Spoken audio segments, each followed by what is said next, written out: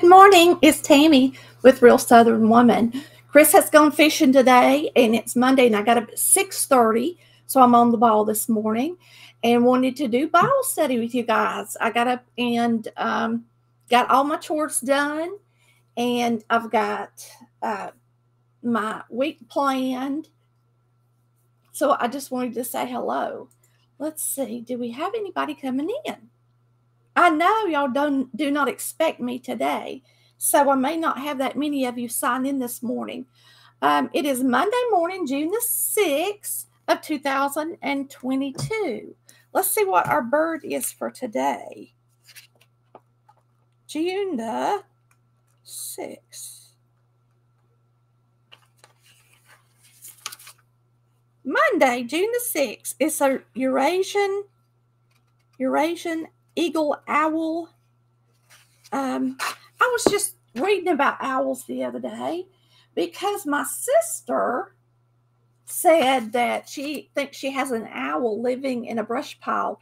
They had a tornado come through there about a year ago and they it blew down a bunch of trees and so they have a brush pile out by the house and she said there was a big bird that flew by and went into the brush pile. So I went on to Google searching if owls like brush pile, piles, and it's actually a way to attract an owl to your yard. So I'm sure she has an owl, and I think owls are super cool. And so um, I thought that was neat. I don't know if you guys got to see my pictures of the of the young hawks that are living in the backyard. I just posted it as a post on Facebook and on the community page for YouTube. And if you didn't, you should go back and take a look because boy, are they cute and they look grown. And at first, I thought we had a new hawk in the yard. When I zoomed in on it, I thought these aren't orange breasted hawks. And so then I realized the mother flew in with a snake, and the other hawks started flying into the nest in our backyard. And then I realized that those were the young hawks. And boy, are they big! And this time they didn't just leave the nest and not come back. They have hung around and you hear them screaming every evening, I guess, when it's time for them to eat. And so uh, that's pretty neat. All right, owl for the day. We also had some abyss, ibis, I think is how you're supposed to say it. I say abyss, and Chris says I say it wrong. And I don't know if there's one in this book or not. Um, it doesn't really tell you where the birds are in this book. It just tells you um, who made the picture. But anyway, we saw they've been flying into the yard. They do every year, and they eat in the yard and they pull up bugs and stuff out of the dirt. And I was thinking, you know, when we lived in um, Paulding County, we actually had a grass company come and spray our yard, not the backyard, but the front yard. And I was thinking when those were out there eating, I'm sure glad because they go in everybody's yards. Uh, those birds, they have really long curved beaks. They're a, a water bird. And I thought it's a good thing we don't have our yard sprayed because they eat in our yard all the time. Um, Margie said she was just watching the Aldi grocery trip. Will you go back and watch that, Margie? When we get off here today. But since I'm live, you can join in right here, right now. Um, anyway, I got a lot of my chores done. I've already had my shower, put on my makeup, curled my hair. I am doing good, y'all. And so I think I'm gonna make a Dollar Tree meal today. You know, out of that stuff I got at Dollar Tree because Chris cleaned up the garage and I have bags out there of that stuff I bought and I need to cook it. Um, and then I've got to do something with ground beef today. I may make a beef pot pie. So I'm going to get started cooking as soon as we get off here. Uh, but since I went through Bible study this morning, I was going to talk to y'all about it. And I'm going to be honest with you guys. I know I talk a lot about my health on here. I know I do. Um, let me open that up. But can I say, um, a lot of people don't understand why I talk about my health that much. And it's because they have great health. Okay. And so if I get on here and I talk about my health, They think I'm a complainer and that I hurt all the time and there's always something wrong with me. And can I say this? The reality is there usually is always something wrong with me. Um, and that is why I'm considered disabled, I guess, because um, even if I have good days and I get a lot done, I still have a hard time with my health. And it's just because I inherited it from my mother and my grandmother, and there, there ain't a thing I can do but do the best I can. And, um, but I had somebody tell me that all I did is complain. And so, and I don't want y'all to, you know, I'm just saying that if you've never had pain and you've never had fibromyalgia and you've never had this arthritis and you've never had all these things that are wrong with you, you should be grateful and praise the Lord for it. But last the last week or so, I've had the hardest time ever since I took that antibiotic with my feet and my ankles and my Achilles tendons. And can I say I prayed to the Lord last night and I, I asked him to please help me and uh, help me get rid of some of that because on my left foot, it has been so tight in my Achilles and there's a knot on it. And I don't want to have to go back to the doctor and I don't want to uh, have to deal with all of that like I did with my right foot years ago.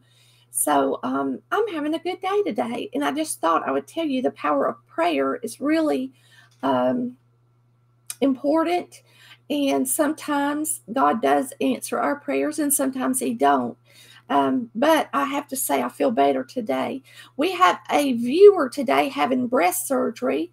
She's having a, mastectomy today, and I think she's having a double mastectomy.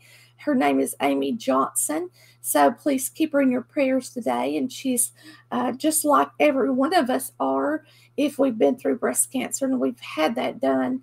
Um, she's already mourning the loss of her breast, even if it is a good day to take the cancer off of your body. It's still hard as a woman uh, to lose your breast. And I remember when I lost mine, I was excited to get them off because of the cancer. And people can say whatever they want to, but it's very emotional and it's something that you go through. It's hard when you're being intimate with your husband.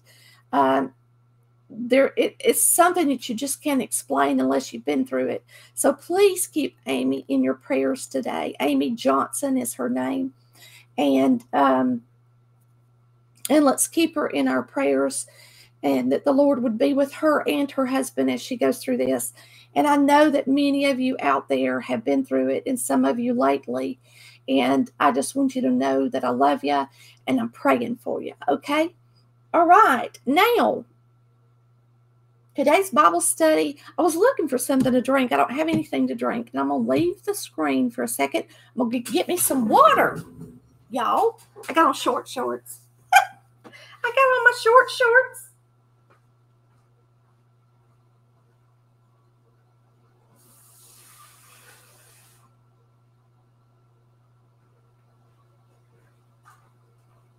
Woo, I've already washed a load of clothes, folded a load of clothes cleaned out my coffee pot. I am on the ball, made up my bed, took my shower. All right, so if you're still being lazy this morning and you hadn't got up and got started, and you just don't feel good, and it's been a few days since you showered, can I encourage you today to get up and get ready and maybe even make up your bed today? Um, when we get up and do things, it sure does make us feel better, even if we are having a hard day or a hard time. It's always good to get up and get started. And what a better place to start than with the Lord in Bible study, right? So we're going to hop on into Bible study. I'm not going to talk a lot today. If you don't know it, I did start a new show, but it's only on Facebook. And if you don't have Facebook, I'm sorry, but it is a Facebook thing. Um, I do a lot for YouTube, but mostly I do edited video for YouTube. And I'm going to tell you, it's a lot of work. And you guys are very faithful. And I thank you for watching Collard Valley Cooks.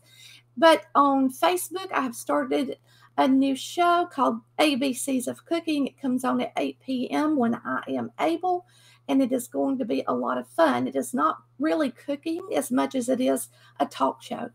But anyway, we're going to hop on over to Bible study And today's Bible study comes out of the Blue Letter Bible, and it's Charles Spurgeon's study um, devotional. And it is June the 6th morning reading, and it says, Behold, I am vile. Behold, I am vile.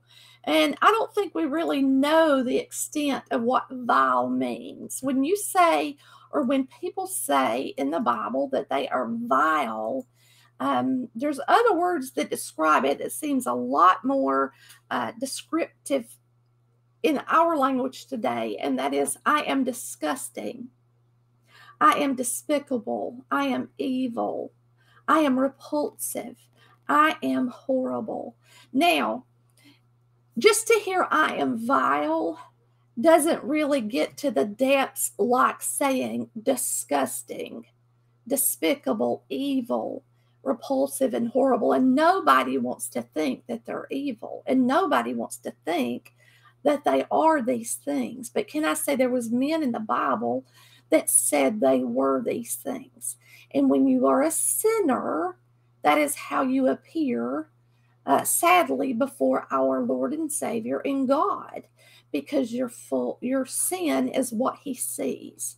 Okay, so we're going to talk about that today. It says, Behold, I am vile. One cheering word, poor lost sinner, for you. So this is for the lost, okay? If you've never trusted Jesus as your Savior, if you've never admitted that you're a sinner, if you've never admitted where you truly stand with God, okay? It says, You think you must not come to God because you are vile. Now, there is not a saint living on the earth that has not been made to feel that he is vile. If you are saved by Jesus Christ, at one time or another, you had to admit that you were these things. You had to see yourself in this state in order to need a Savior. Okay? It says if Job and Isaiah and Paul, the Apostle Paul, were obliged to say, I am vile, O poor sinner, will you be ashamed to join in the same confession? If divine grace does not destroy all sin from the believer, how do you hope to do it yourself? And if God loves his people while they are still vile, you do think your vi- do you think that your vileness will prevent him to love you? So he's saying, look at yourself and have you seen yourself as vile? Do you think God sees you that way? And know that every saint out there that is saved has seen themselves that way. Okay? It says, believe on Jesus. Jesus calls you just as you are today. Not the righteous, not the blameless. Jesus came to call sinners. He came for people like you and me. So say this today You have died for sinners. I am a sinner. Lord Jesus, sprinkle your blood on me. If you will confess your sin, you shall find forgiveness. If now, with all of your heart, you will say, I am despicable, wash me, you shall be washed now. If the Holy Spirit of God shall enable you from your heart to cry, just as I am, without one plea, but that your blood was shed for me, and that you offered to come to me, O Lamb of God, I come. You shall rise from reading this morning's portion with all of your sins pardoned, forgiven. And though you did wake this morning with every sin that man has ever committed on your head, you shall rest tonight accepted in the beloved. Though once degraded with rags of sin, you shall be adorned with a robe of righteousness and appear white as the angels are. For now, mark it. Now is the accepted time. If you believe on him who justifies the ungodly, you are saved. Oh, may the Holy Spirit of God give you saving faith in him who receives the vilest. Amen and amen. I remember when I accepted Jesus Christ as my Savior, although I was a child, I could see that I had sin in my life, and I could see what I deserved was hell and not to be living with God because I wasn't acceptable. I remember knowing that once I was saved, I would be washed as white as snow, pure, pure. Once you're saved, you're always saved. God forgives us of our sin because of Jesus Christ, not because of who we are, not because of anything we've done, but because of his wonderful and amazing Son who gave his life so that we could live as righteous and be a child of God. I pray today, if you're not saved, that the Holy Spirit could show you that, show you that you need a Savior. And I pray that you will accept Jesus Christ as your Savior. What a wonderful Bible study today. I hope that it's blessed you, and I hope that the Lord blesses you today with these words. I'm praying for you if you're lost, and I'm also praying for you if you're saved. For you can rejoice as I do today that you are washed white as snow. Let's go to the Lord in prayer. Dear Heavenly Father, we just thank you for Jesus. We thank you for your word today. We thank you for the call, Lord, to those lost, those who have not accepted Jesus Christ as their Savior, that they could see that they could be righteous through Jesus Christ's blood. They could be a child of God. They could be white as snow and live in you. That they could have the hope of an eternal life, one that Jesus has conquered death, one that they could live forever and be your child and be with you one day when they die.